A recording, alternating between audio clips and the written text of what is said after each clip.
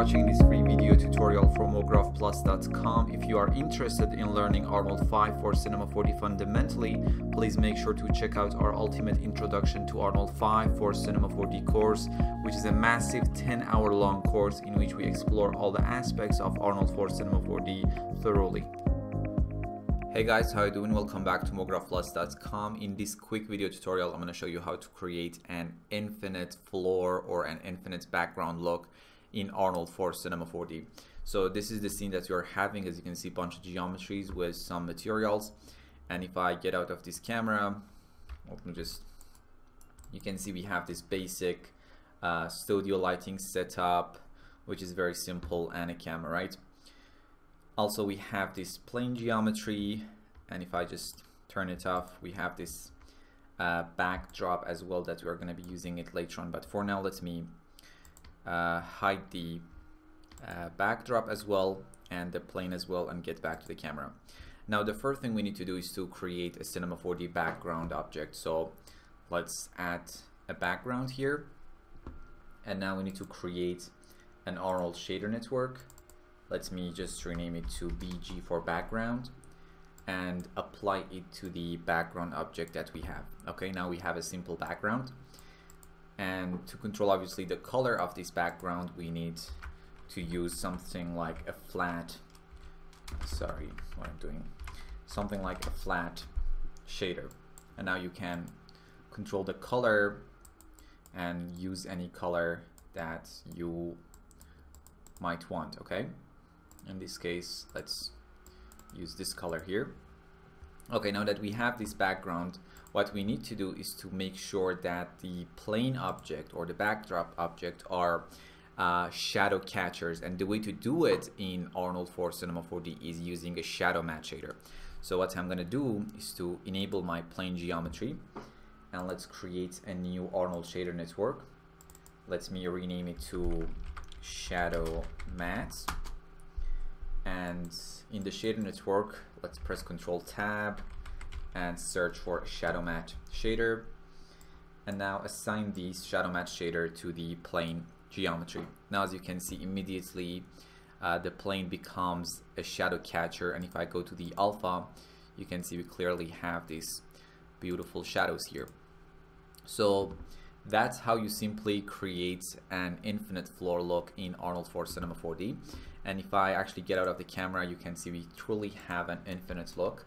And if I just get a bit closer you can see no limitation here. Okay. Now if I get back to the camera uh, the problem right now that we have is you can see this bottle that has a glass material applied to a see-through object basically. Is showing us this uh, kind of dark background and this is because our plane geometry that we had isn't behind this uh, particular object this see-through bottle object that we have here. So what we need to do is to actually let me just hide the plane here and unhide this backdrop geometry that we have and uh, simply apply the shadow matte shader to the backdrop instead of the plane in this case. Okay? Now this is amazing.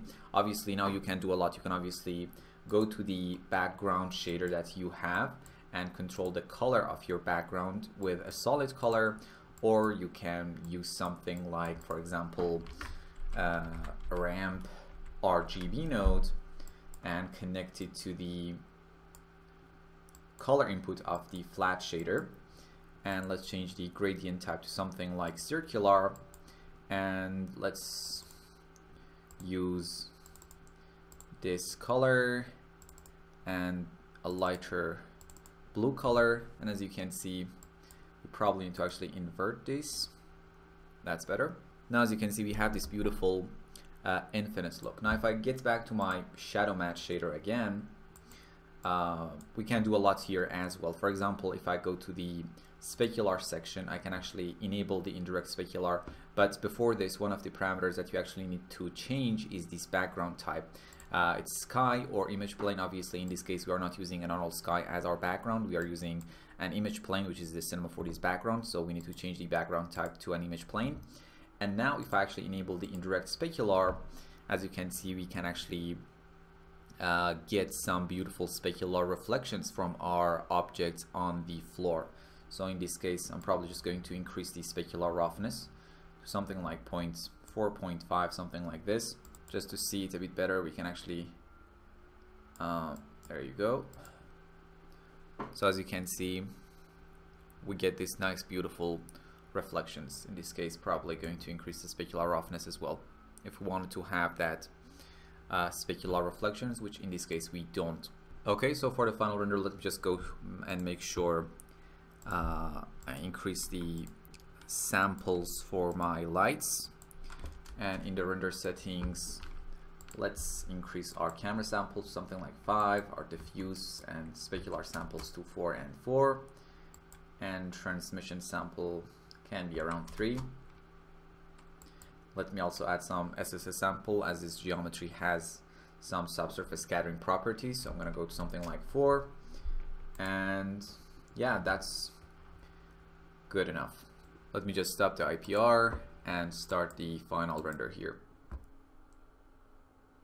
Okay folks, so here is our final render and our beautiful infinite floor look created in Arnold for Cinema 4D. Thank you for watching. See you next time. Thanks for watching this free video tutorial from mographplus.com. If you are interested in learning Arnold 5 for Cinema 4D fundamentally, please make sure to check out our Ultimate Introduction to Arnold 5 for Cinema 4D course, which is a massive 10 hour long course in which we explore all the aspects of Arnold for Cinema 4D thoroughly.